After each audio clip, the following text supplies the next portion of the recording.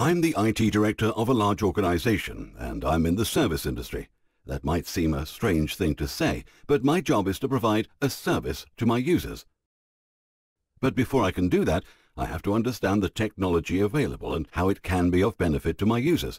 TLAs, or three-letter acronyms, are all very well, but if I don't ask the right questions, I risk the carpet being pulled from under me.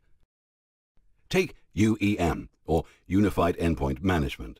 Think of it backwards. The management of devices at the endpoint of a network, and it's all done in a unified way. So now that I know what it does, how can it help me?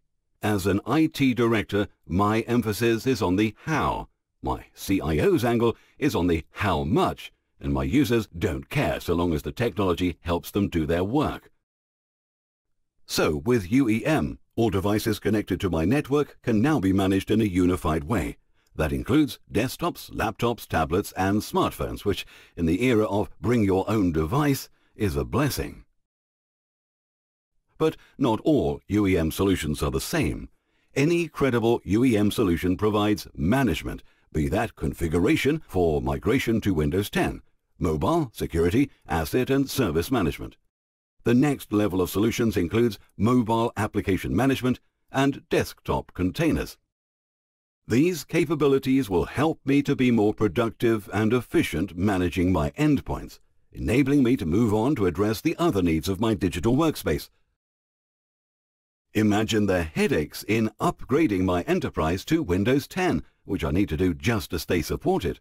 Can my devices and applications support Windows 10? Things like IT mobile management and reporting should be given with a UEM solution, but it's worth checking. And don't forget, I want all of these things on all of my devices.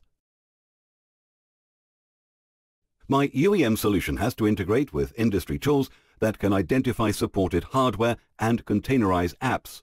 This approach will enable me to conduct the updates whilst keeping my devices secured. So, if you want to know how UEM can help you develop a great service to your users and help your CIO meet budget targets, contact MicroFocus and keep your endpoint management in focus.